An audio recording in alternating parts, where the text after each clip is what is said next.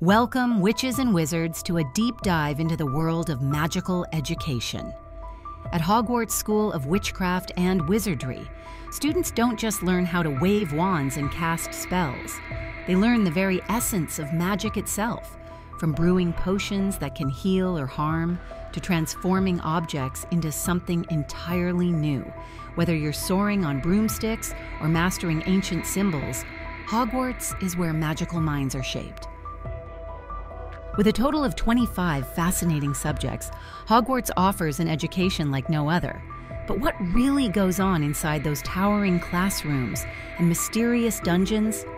Today we'll be exploring the subjects taught at Hogwarts during Harry Potter's time and introducing you to the talented professors who made it all possible.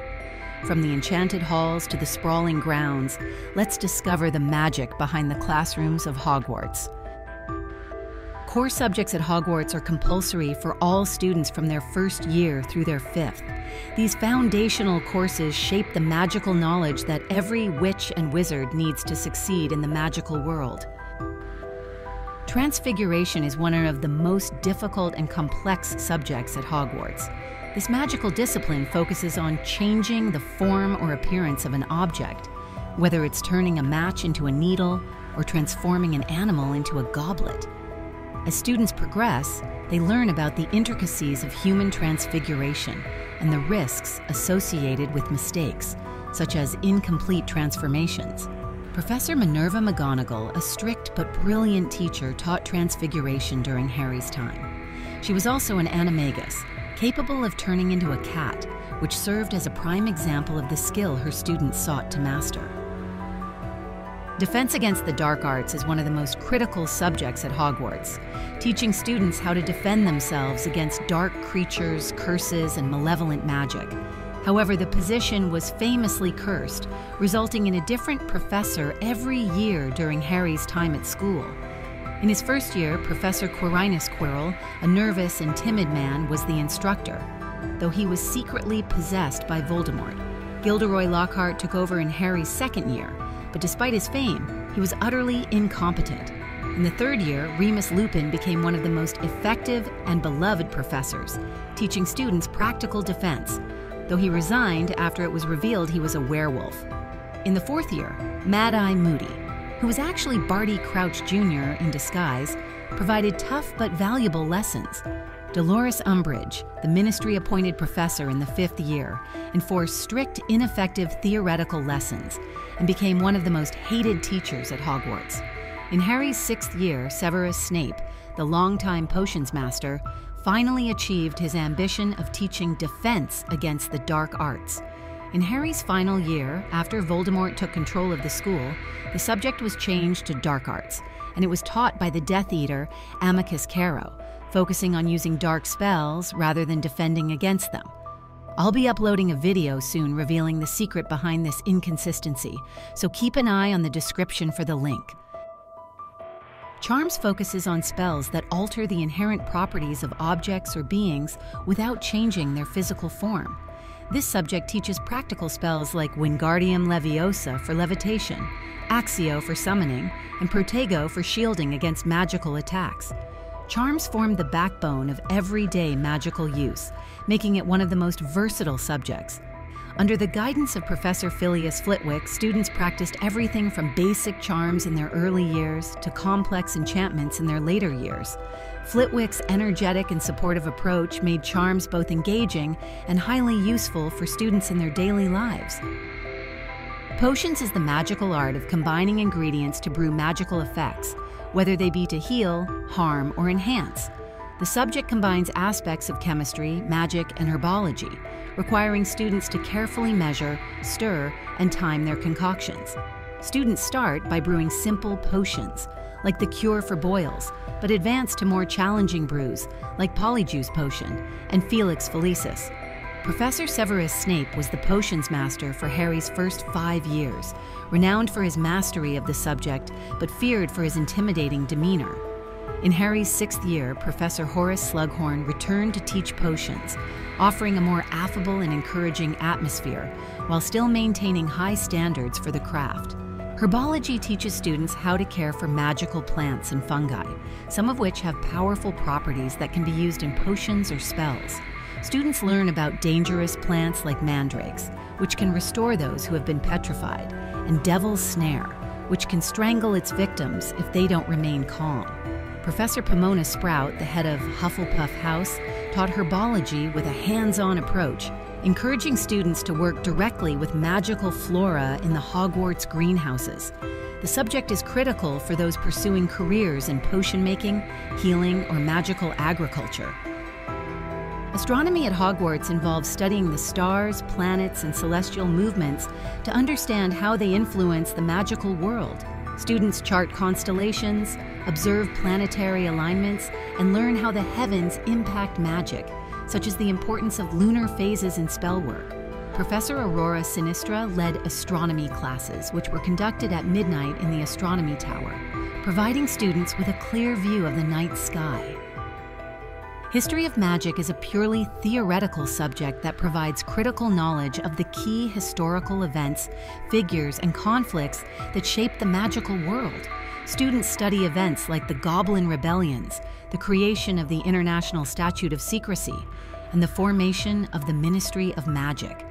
The subject, while vital for understanding the magical world's past, often suffers from a less than engaging delivery. Professor Cuthbert Binns, the only known ghost to teach at Hogwarts, has taught this subject for decades, possibly even centuries. Legend has it that Binns didn't even realize he had died. He simply passed away in his sleep in the staff room and returned to his duties the next day as a ghost, never skipping a lesson. Despite his ethereal form, Binns' teaching style remained unchanged. He would float through the blackboard to enter the classroom and drone on in a monotonous voice, causing most students to struggle to stay awake, though Binns' spectral presence might have intrigued students at first.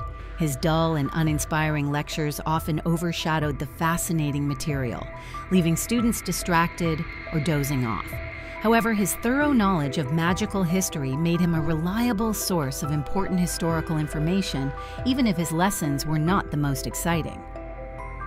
In their third year, students at Hogwarts can begin choosing elective subjects to pursue alongside their core curriculum. These subjects allow students to tailor their education according to their interests and future aspirations. Care of Magical Creatures introduces students to the magical world's diverse and often dangerous creatures. From handling hippogriffs to studying blast ended skrewts, students learn how to care for, interact with, and protect themselves from magical creatures. For Harry's first two years, the subject was taught by Professor Sylvanus Kettleburn, who eventually retired after losing too many limbs in his encounters with magical creatures.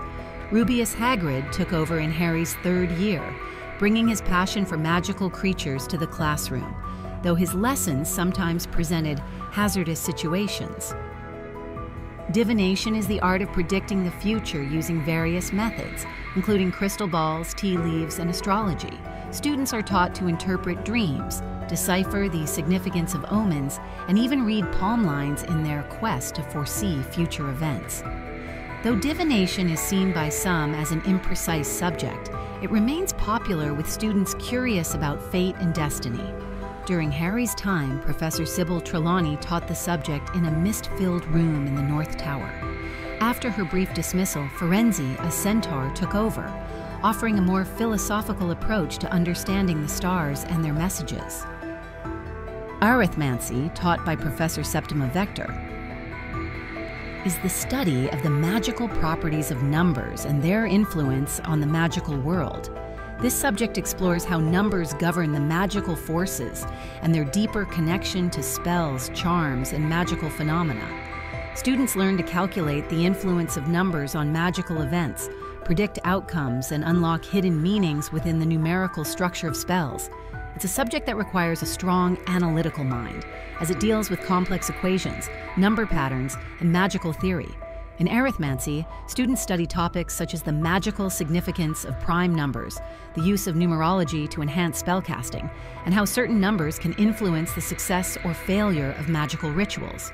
For example, the number 7, considered the most magically powerful number, is a central topic of discussion. Students analyze its recurring role in magical history, such as the seven core subjects taught at Hogwarts, seven Horcruxes created by Voldemort, and the magical properties of a seven sided star. Ancient Runes focuses on the translation and study of magical symbols from ancient cultures. Students learn to decipher runic texts, uncovering knowledge of lost spells, magical practices, and enchantments used by wizards centuries ago. Professor Bathsheba Babbling teaches this elective, which is essential for students interested in magical history, ancient languages, or advanced spellwork. Muggle Studies provides magical students with an understanding of the non magical world. The curriculum covers Muggle technology, social customs, and daily life, offering insights into how Muggles function without magic. Initially, Professor Charity Burbage taught the subject, promoting understanding and appreciation for Muggles. However, during Voldemort's control of Hogwarts, Alecto Carrow took over and used the subject to spread anti Muggle propaganda. As Hogwarts students advance in their magical education, they face two significant academic challenges. OWLs and NEWTs, these examinations determine which subjects students can continue to pursue and what career paths they can follow in the wizarding world. OWLs, ordinary wizarding levels, are taken at the end of the fifth year testing students on core subjects such as potions, transfiguration, and defense against the dark arts, as well as electives like arithmancy and ancient runes. The grades students achieve in these exams dictate whether they can continue studying certain subjects at an advanced level. Once students reach their final two years, they prepare for NEWTs, nastily exhausting wizarding tests, the most challenging exams at Hogwarts. NET WTs are critical for students aiming for prestigious careers, such as becoming an Auror, healer, or curse breaker. These tests cover advanced topics in the subjects that students performed well in during their OWLs, requiring both theoretical and practical mastery of magic.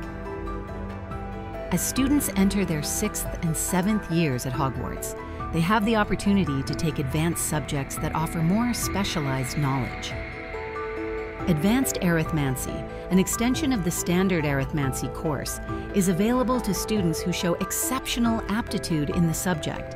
In this advanced course, students delve deeper into the relationship between numbers and the fabric of magical reality, exploring the theoretical limits of how numbers can manipulate magical forces.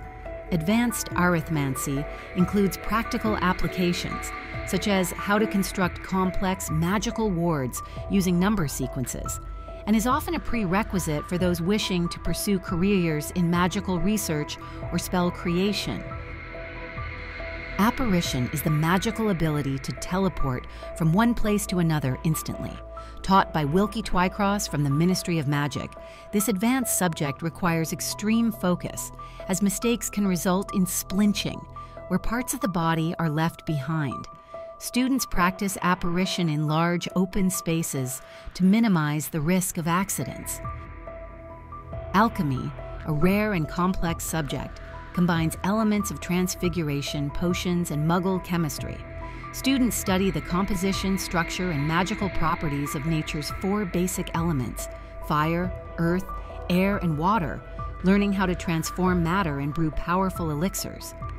Alchemy also focuses on turning base metals into gold and exploring the creation of the fabled Philosopher's Stone.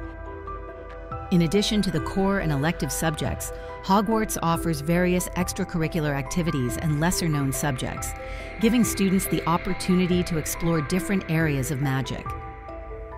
Flying lessons taught by Madame Hooch are one of the first practical experiences for new Hogwarts students. Held on the Quidditch pitch, students learn how to fly broomsticks and control their movements in the air. Flying is a fundamental skill for any witch or wizard, and it's essential for those who aspire to play Quidditch. Ancient Studies provides an understanding of the magical practices and rituals of ancient wizarding civilizations.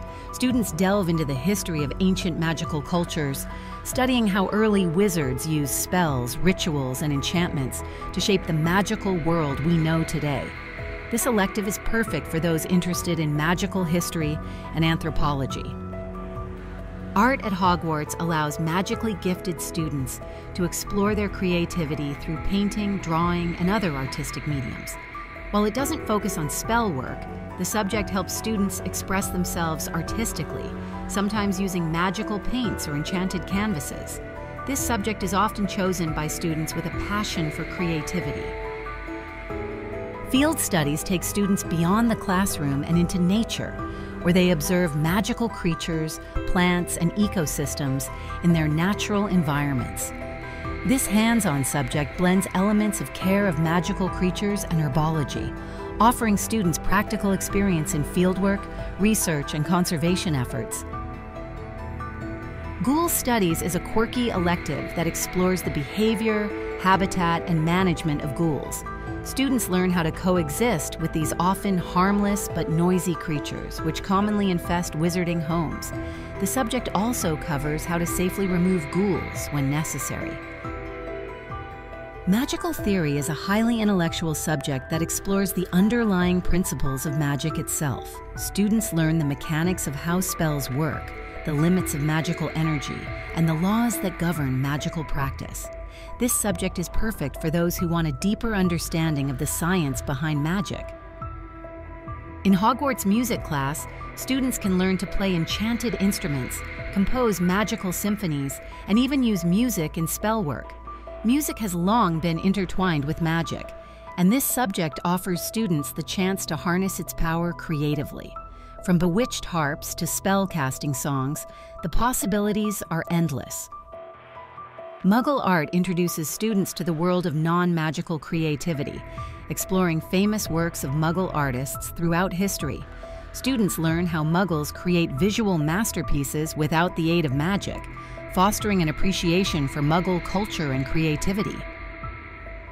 Much like Muggle art, Muggle music teaches students about the musical traditions of the non magical world. Students study famous Muggle composers and musicians, exploring how Muggle music reflects society and culture. This elective helps bridge the gap between magical and Muggle worlds through the universal language of music. Xylomancy is the ancient practice of divining the future using twigs and branches. In this elective, students learn how to interpret the arrangement of fallen twigs and other wooden debris to uncover hidden truths or predict future events. Though less common than other forms of divination, xylomancy has deep roots in ancient magical cultures. And there you have it, the subjects taught at Hogwarts during Harry Potter's time each designed to shape young witches and wizards into powerful magical beings. Whether you're mastering transfiguration or caring for magical creatures, Hogwarts offers an education unlike any other. If you found this informative, make sure to like, share, and subscribe to Shuttermongers for more magical content. And don't forget to check out my upcoming video about the secret behind the cursed Defense Against the Dark Arts position. Keep an eye out for the link in the description. Until next time, stay enchanted, and I'll see you in the next video.